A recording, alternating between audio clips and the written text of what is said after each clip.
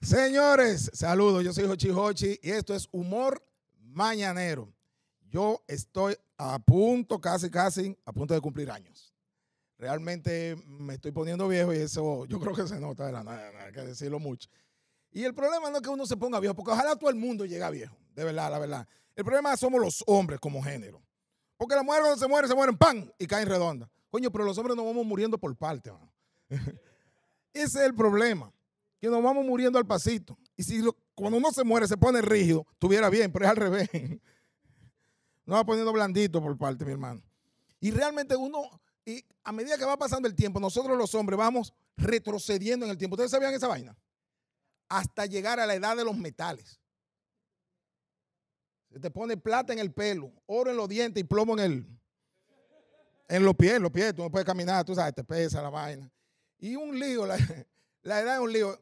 Y yo, mi familia, siempre hemos, hemos como, como sido así, como reacio, poniendo viejos, a vernos viejos, eh, como mi tía. Yo tengo una tía, coño, que esa tía mía, mi tía Josefina, yo cuento esto con mucha, con mucha pena porque realmente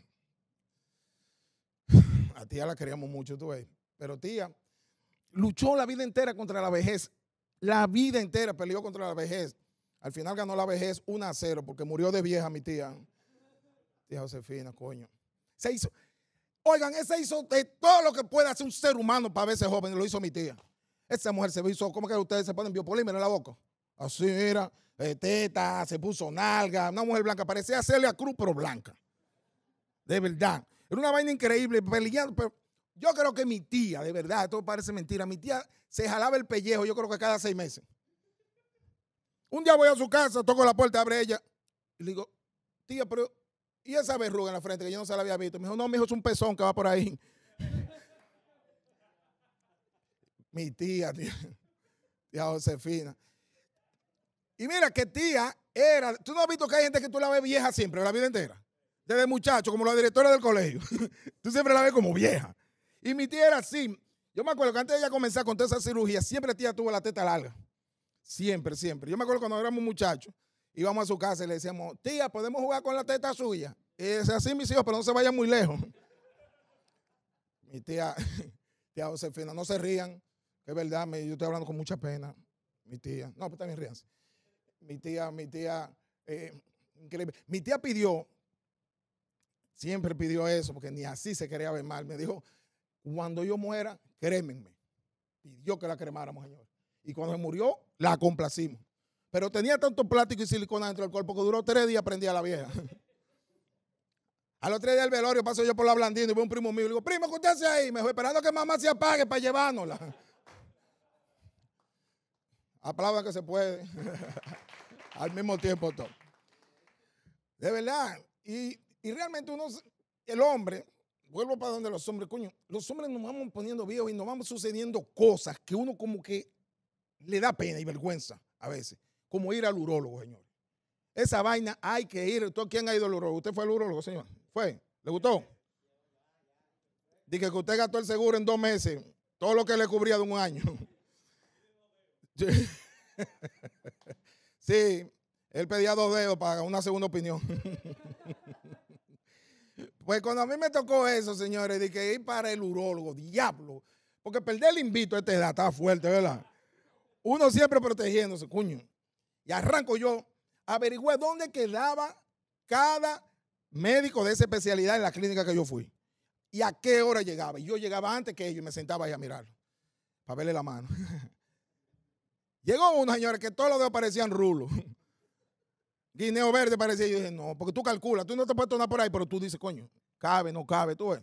Dice, no, este no. Pues fui para donde otro. Llegó con todo lo como yo. Y dije, yo lo intenté una vez. No, no, no, no. Y llegó uno que todos los parecían meñiques. Yo dije, esto es un profesional. Entré, el tipo me hizo toda la pregunta, toda la vaina. Me dijo, el momento que yo estaba esperando que no llegara, llegó. Me dijo, pase por aquí, venga, señor Domínguez, eh, en esta camilla, bájese los pantalones, calzoncillo y recuéstese. Yo lo hice. Yo me recosté, calzoncillo abajo, pantalón abajo, y el médico se me pone detrás. Yo dejo de verlo por un momento, porque eso es como los retrovisores que tienen un punto ciego. Él estaba ahí atrás. Yo sé que él estaba ahí. Yo digo, se pone los guantes. Ta, ta, ta. Yo dije, coño, yo estoy asustado, estaba asustado. Y oigo que el médico comienza a decir, Miguel, tranquilízate. Y yo, Miguel, estate quieto. Y yo, yo estaba nervioso, ¿verdad? Por coño, Miguel. Miguel, take it easy. Y dije, coño, tu Dios fuera el médico. Miguel, deja los nervios. Yo no aguanté más. Le digo, doctor, yo no me llamo Miguel, yo me llamo Hochi, sino el que se llama Miguel soy yo y me conozco. Salí de ahí de reversa y subiéndome los jeans. Señores, la edad, la edad. No hay cosa, oigan esta vaina, no hay cosa que haga que uno se ponga viejo más rápido que tener un carro viejo. ¿Quién ha tenido carro viejo? ¿Usted? ¿Usted? ¿Usted? ¿Ha tenido? Tiene, no importa. Allá. Tiene también. ¿Y usted, Colón? Sí, usted. Yo veía uno que tú tenías. ya lo cambiaste. Señores, eso hace que tú te pongas viejo rap. Lo más, mira, con decirle, cuando yo tenía 30 años, yo compré un carro viejo. Y al año de yo comprarlo, ya yo tenía 42. Una vaina increíble. Ese carro le sonaba todo, menos el radio y la bocina. La goma estaba tan gatada que se le veía el aire desde afuera.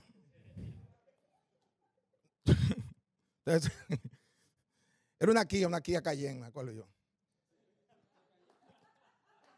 ¿Qué fue?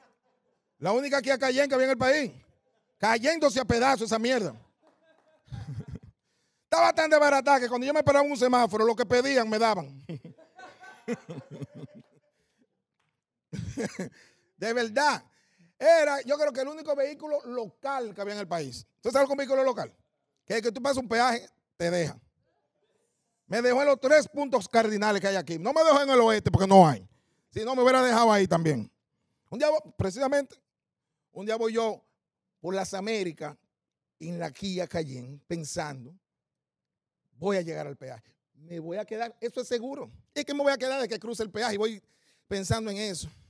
Pero no tenían que ir, me había que ir obligado en esa vaina, arriesgado. Y yo en la fila avanzaba un carro. Me que me voy a quedar. Y avanzaba otro carro, coño, que eso es seguro. Y avanzaba y me toca a mí pagar y estoy distraído todavía. La señora me dice, caballero, 60 pesos. Y dije, vendida. Con todo el papel ahora mismo. Porque el que me la vendió me dijo, señor, usted va a tener carro para toda la vida. Y de verdad lo tuve. Nadie me la quería comprar, wow. Con decirle que una vez le puso un letrero que decía, se vende. Y vino un borracho y le puso abajo, a que no. Señores, muchísimas gracias.